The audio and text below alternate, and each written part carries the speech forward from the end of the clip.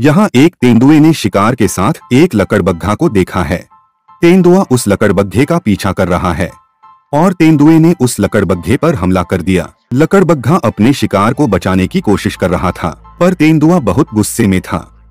लकड़बग्घे के मुँह से शिकार गिर गया। तभी तेंदुआ उस शिकार को लेकर पेड़ के ऊपर चला गया, जो लकड़बग्घा दूसरों का शिकार चुराता है। आज तेंदुए ने उसका शिकार चुरा लिया।